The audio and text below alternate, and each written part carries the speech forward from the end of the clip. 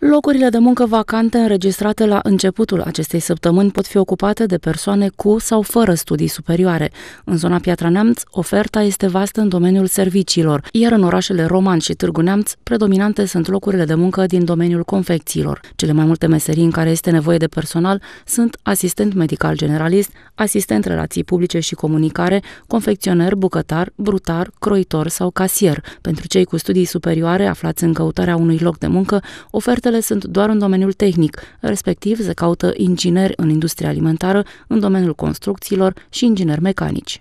Pentru cei care își caută un loc de muncă, la Agenția Județeană pentru Ocuparea Forței de Muncă, agenții economice au comunicat pentru această săptămână un număr de 507 locuri de muncă vacante. Cele mai multe sunt la Piatra Neamț, în număr de 277, urmată de zona Roman cu 140 de locuri de muncă vacante și apoi zona Târgu Neamț cu 90 de locuri de muncă vacante. Preponderente pe zona uh, Roman și Târgu Neamț sunt locurile de muncă din domeniul confecțiilor, iar pe zona Piatra Neamț Uh, predomină locurile de muncă din uh, domeniul serviciilor.